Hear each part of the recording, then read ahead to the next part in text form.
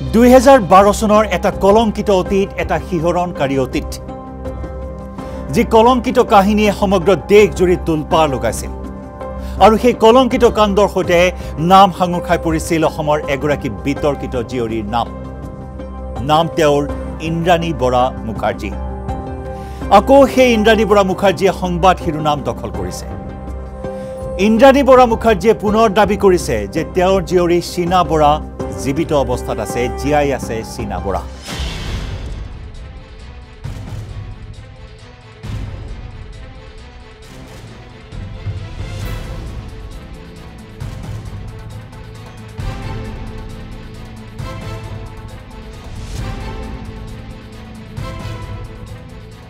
নমস্কাৰ প্ৰিয় দৰ্শক মই জয়ন্ত মাধৱ গোস্বামীয়ে আপোনাক স্বাগতম জনাইছোঁ।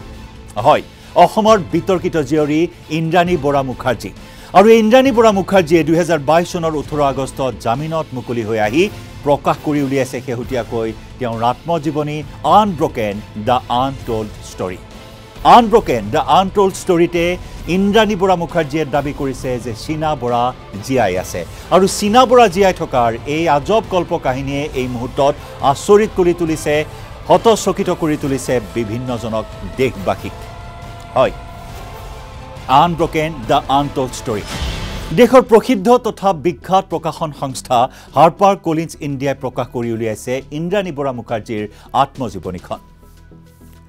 য'ত তেওঁলোকে দাবী কৰিছে হট কেকৰ দৰে বিক্ৰী হ'ব এই আত্মজীৱনীখন। আৰু ভবাৰ ধৰণেই এসপ্তাহৰ ভিতৰতে যথেষ্ট লোকে এই আত্মজীৱনীখনৰ প্ৰতি আকৃষ্ট হোৱা পৰিলক্ষিত হৈছে।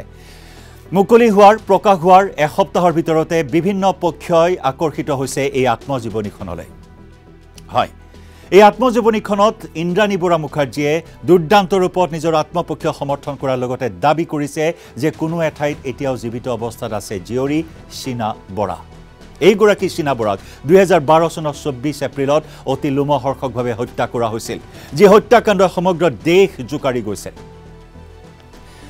দ্বিতীয় স্বামী সঞ্জীৱ খান্না আৰু গাড়ী চালক শ্যামভৰ ৰায়ৰ সহযোগত হত্যা কৰি মহাৰাষ্ট্ৰৰ ৰায়গড় জিলাৰ ঘন জংঘলত পেলাই দিছিল চীনা বৰাৰ মৃতদেহ। দুহেজাৰ পোন্ধৰ চনত এই সমগ্ৰ ঘটনা পোহৰলৈ আহিছিল। দুহেজাৰ পোন্ধৰ চনত ছেপ্টেম্বৰ মাহত চি বি আইৰ হাতলৈ গৈছিল এই গোচৰৰ তদন্ত আৰু তাৰ পিছৰে পৰাই মহাৰাষ্ট্ৰৰ মুম্বাইৰ বাইকুল্লা কাৰাগাৰত কাৰাবন্দী হৈ আছিল ইন্দ্ৰাণী বৰা মুখাৰ্জী। ইন্দ্ৰাণী বৰা মুখাৰ্জীয়ে বাইকুল্লা কাৰাগাৰত কেনেদৰে গৈছিল সকলোখিনি কথাও এই আত্মজীৱনীখনত প্ৰকাশ কৰিছে। ইন্দ্ৰাণী বৰা মুখাৰ্জীয়ে দাবী কৰিছে যে তেওঁৰ বিষয়ে নজনা বহু কথা বহু অকথিত কথাই সন্নিৱিষ্ট কৰা হৈছে আত্মজীৱনীখনত। নিজৰ জীয়ৰীক হত্যা কৰাৰ গোচৰত কাৰাগাৰত গৈ প্ৰথম দিনটোত কেনেধৰণৰ অভিজ্ঞতা লাভ কৰিছিল সকলোখিনি কথা বৰ্ণনা কৰিছে আত্মজীৱনীখনত। এখন চাপৰ দুৱাৰৰ তলেৰে যাবলৈ দিয়া হৈছিল ইন্দ্ৰাণী বৰা মুখাৰ্জীক। আত্মজীৱনীত ইন্দ্ৰাণীয়ে উল্লেখ কৰিছে সেয়া আইনৰ ওচৰত মূৰ দোৱাবৰ বাবেই চাপৰ দুৱাৰেৰে লৈ যোৱাৰ কথা। দুটাকৈ স্থানত সম্পূৰ্ণ বিবস্ত্ৰ কৰি পৰীক্ষা কৰা হৈছিল শৰীৰ। কিয় পৰীক্ষা কৰা হৈছিল সেই বিষয়ে সদৰি কৰিছে ইন্দ্ৰাণী বৰাই। শৰীৰত কিবা আঘাতৰ চিন আছে নেকি? আৰক্ষী থানাত থকাৰ সময়ছোৱাত আৰক্ষীয়ে প্ৰহাৰ কৰা বা তেনেকুৱা ধৰণৰ কিবা চিন থাকিব পাৰে নেকি শৰীৰত যি আঘাতৰ দায়িত্ব কাৰাগাৰ কৰ্তৃপক্ষই নলয়। সেয়া এটা কাৰণ। আৰু দ্বিতীয়টো কাৰণ হ'ল কাপোৰৰ ভিতৰত কিবা আপত্তিজনক সামগ্ৰী ড্ৰাগছ বা ৰছীজাতীয় কিবা সামগ্ৰী থাকিব পাৰে নেকি সেই বিষয়ে তন্ন তন্নকৈ পৰীক্ষা কৰা হৈছে। সেই অভিজ্ঞতাৰ কথা আত্মজীৱনীখনত প্ৰকাশ কৰিছে ইন্দ্ৰাণী বৰা মুখাৰ্জীয়ে। লগতে ইন্দ্ৰাণীয়ে প্ৰকাশ কৰিছে তেওঁৰ জন্ম তেওঁৰ শিক্ষা তেওঁৰ বিবাহ প্ৰতিটো কথাই তন্ন তন্নকৈ প্ৰকাশ কৰিছে আত্মজীৱনীখনত।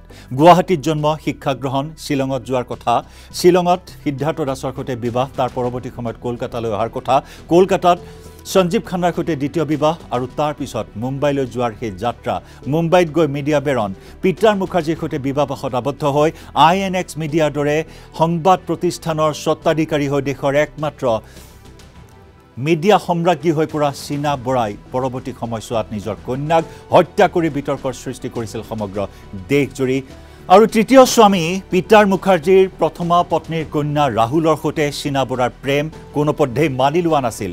চীনা বৰা আৰু পিটাৰ মুখাৰ্জীয়ে আৰু যাৰ বাবে পূৰ্ব পৰিকল্পিতভাৱে চীনা বৰাক হত্যা কৰিছিল ইন্দ্ৰাণী বৰা মুখাৰ্জীয়ে। এনেকুৱা ধৰণৰ অভিযোগ ইন্দ্ৰাণী বৰাৰ বিৰুদ্ধে আৰু যাৰ ৰাজসাক্ষ্য আদালতত প্ৰদান কৰিছিল গাড়ী চালক শ্যামভৰ ৰায়ে। শ্যামভৰ ৰায়ে আছিল এই হত্যাকাণ্ডৰ প্ৰত্যক্ষদৰ্শী আৰু শ্যামভৰ ৰায়ে মৃতদেহ পেলাই দিছিল দ্বিতীয় স্বামী সঞ্জীৱ খান্নাৰ লগত। আৰু সেই সকলো কথা আদালতত সদৰি কৰিছিল আৰু যাৰ বাবে সুদীৰ্ঘ দিন কাৰাবন্দী হৈ সময় কটাইছিল বাইকুল্লা কাৰাগাৰত ইন্দ্ৰাণী বৰা মুখাৰ্জীয়ে। আৰু সেই সকলোবোৰ কথা সন্নিৱিষ্ট কৰা হৈছে তেওঁৰ আত্মজীৱনী আনব্ৰকেন দ্য আনটল্ড ষ্টৰীত।